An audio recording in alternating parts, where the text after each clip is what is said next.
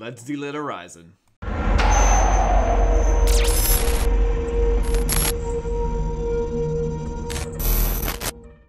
Hey guys, welcome to Frame Chasers. Today we're going to be delidding the Ryzen 3950X. And with that, we're going to be doing some temperature testing to see if it's even worth it. I'm doing this before I do the gaming benchmarks because I want to give the um, 3950X the best chance that it has to compete against the 10900K. So, first we're going to do the temperature testing uh, stock with just some Kryonaut on top. And then we'll delid it, liquid metal it. And then we'll do some temperature testing with liquid metal on the dies and on the IHS. So the heat transfer should be, in theory, should be phenomenal. Um, the test setup today, we got a 360 mil radiator and a 120 mil radiator. So 480 total millimeter radiator inside the case. Um, same Bitspower water block that I always use for my all my AMD testing. Uh, we're going to be doing two types of testing today. We're going to be doing um, burst heat transfer and long-term heat transfer over 30 minutes. So when it comes to the burst transfer heat, uh, heat transfer, uh, we're gonna let the uh, radiator and all the water cool down to room temperature, and then you hit small FFT on um, on Prime 95, and you just want to see what temperature it spikes up to in the first couple of seconds to see what the max is, and that's how you can tell that what the burst heat transfer is of the material that you're using. That's how you want to test how good the solder is and how good the liquid metal is. The second thing that we're going to test is the long term, over 30 minutes total heat temperature um, cooling performance, I want to say.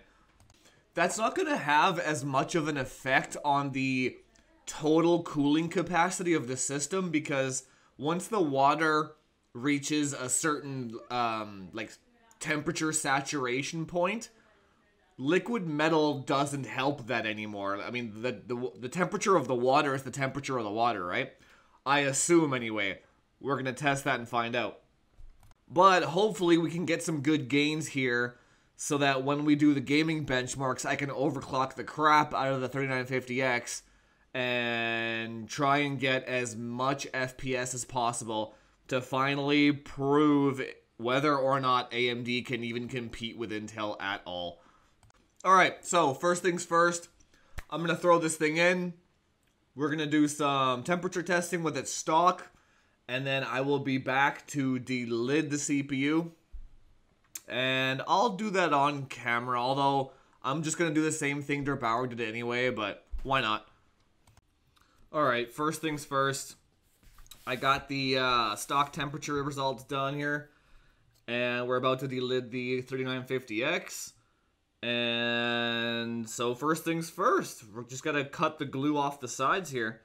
Um, you gotta get these little razor blades, slowly work your way in on each corner first.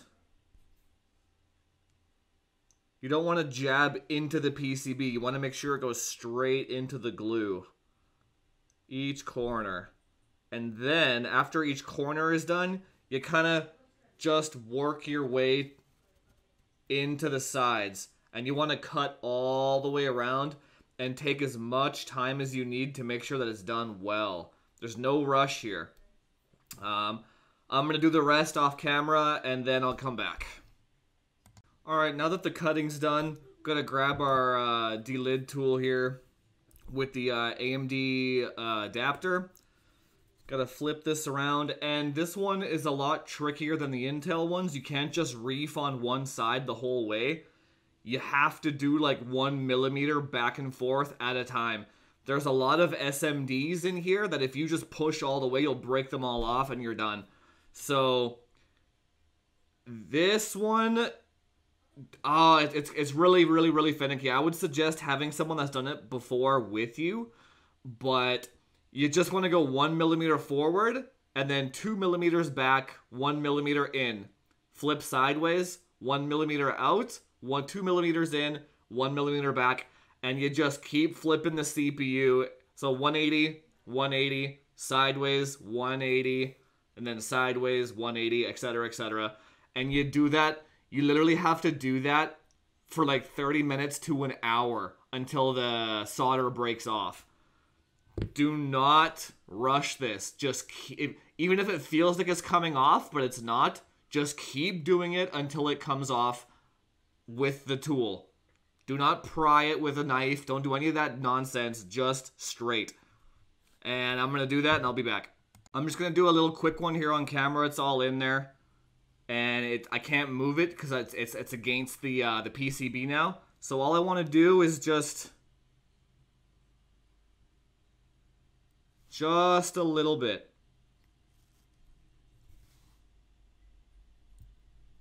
That's it. I, I just... I, I literally just felt it move like a bit. I'm done. I'm flipping. I'm taking it out and I'm flipping it around now. And I'm to do that for the next hour. All right. Oh my God. That took like three hours to get off. Holy shit. I just just don't do this. It's not worth it. Just just never ever delid a Ryzen chip. It's 100% not worth it. Um, yeah, that took about three hours of one millimeter back and forth constantly. But anyway, it's off now. Good, whatever. Um, this is Quicksilver. You buy it from the Rockit Cool website. Um, this stuff eats away the uh, stock uh, solder. So you just put that on there and you use just an, an old, you know, credit card and you just kind of scrub it in with the credit card.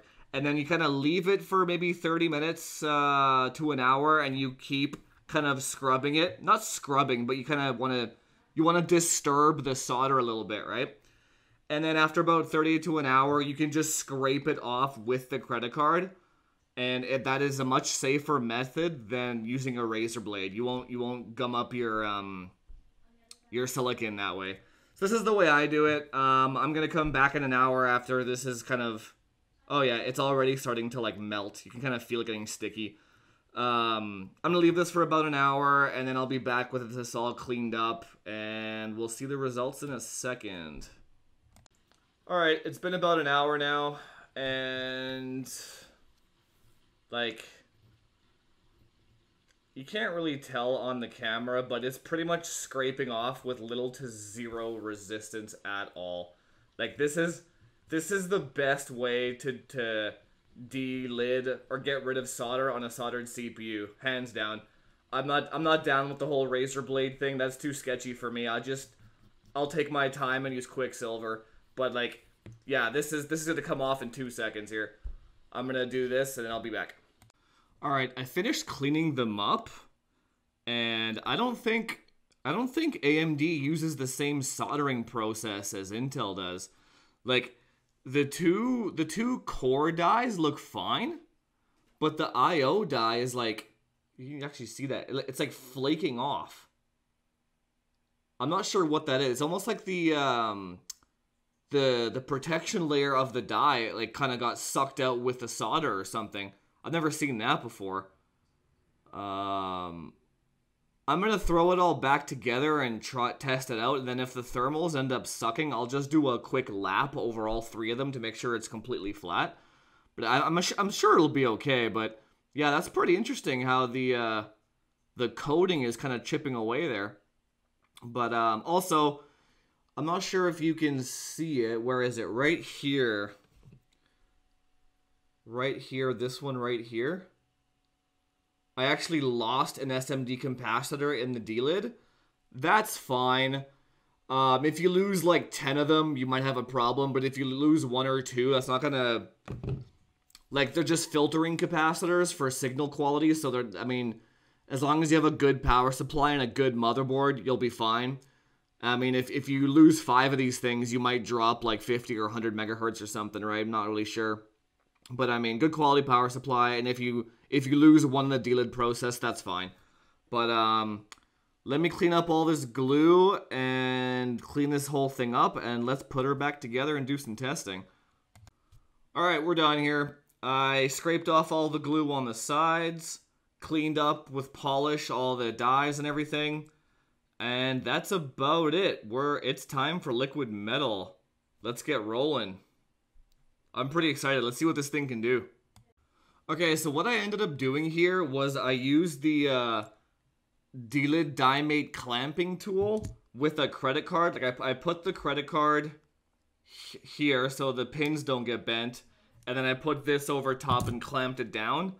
And then I glue gunned all the way around. And the reason I did that was the glue gun is soft enough to peel without damaging anything, but also hard enough to keep the IHS in one place when you're putting your cooler on. So, yeah, that's that's that's my. It doesn't have to look. Doesn't have to look pretty, but I mean, if it works, it works, right? No one's gonna see it underneath the CPU cooler anyway. So that was my solution. Um, I'm gonna clean this up and throw it in the computer and let's see what happens. All right, here we go. Liquid metal over the entire IHS. That's actually like an expensive amount of liquid metal. This this looks absolutely ridiculous. Look at this. This is hilarious. Oh my god. I hope it performs well because this is a this is a gong show. All right, I'm gonna put the the the CPU cooler is nickel plated as well, so the liquid metal is gonna work really good here. All right, I'll be back. All right, I got the results here. Let me just bring this up. They were awesome. I am not totally not worth it, but still awesome results nonetheless. Um, so stock, stock with Kryonaut, um, like the stock uh, soldered TIM. Um, we had a burst temperature of 75 Celsius. That's just like a small FFT prime 95 from from totally cold water burst temperature 75 celsius and after 30 minutes of prime 95 small uh, peak temperature leveled out at 85 celsius. All right now with the delid and liquid metal on both sides of it uh okay cold totally cold water burst temperature was 64. So that is a 11 degree drop. That is that's crazy. So the uh the transfer of heat from the die to the cooler increased by 11 degrees Celsius. Um, that's that is significant. And I also noticed that um, uh, when it's stock, and it bursted it bursted to about 40 25 40 50 on the initial burst. And with the liquid metal and delid it bursted to 41 50 41 25 so initial burst on the uh, PBO got about 75 to 100 megahertz just from the liquid metal and delid by itself. No other changes. Um, after 30 minutes of small FFT prime uh, the temperature leveled out at 75, which was really interesting because I didn't think that the the temperature would lower 10 10 like so it was improved by 10 degrees over the stock one. But um yeah, and I even left it for an extra 10 minutes after and it didn't go above 75. Like the the water temperature was at capacity and it was staying at 75. And I also noticed that the room got way warmer with um with the liquid metal in the 75 degrees. But that also probably because I left it on for an extra 10 minutes, but still like the room got pretty damn hot. And once the temperature leveled out, they were both stable at about 40 50. So after 30 40 minutes of prime 95, it wasn't even though it was 10 degrees celsius lower it wasn't boosting any higher at, in stock form. Um, so it, it, it doesn't it's not really worth it in that regard if you're going to be rendering all day long. It doesn't really change the actual boost. But if you're playing games or something there is an extra 100 megahertz there to, to boost out of it right? Um, i'm going to have to do some overclocking on this to see if it actually netted anything but yeah, interesting little tidbit there. You might get an extra 75 to 100 megahertz initial uh, PBO boost, right? So if you want to see some uh, gaming benchmarks on this thing, make sure to subscribe. So all in all, I say very successful project today. Uh, I'm gonna leave it like that, just glued, and that's gonna be my new rendering rig now. Um, and then next step is to just overclock the piss out of it and see what we can get out of it.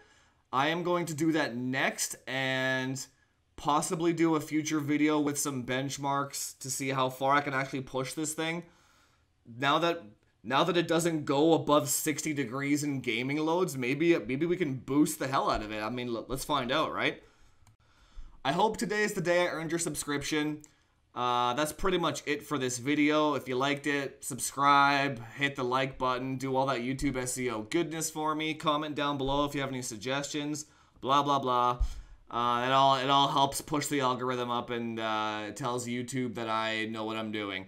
So I'll see you guys in the next video here. I'm not really sure what's on the schedule, but yeah, I hope to see you guys next time. Talk to you later.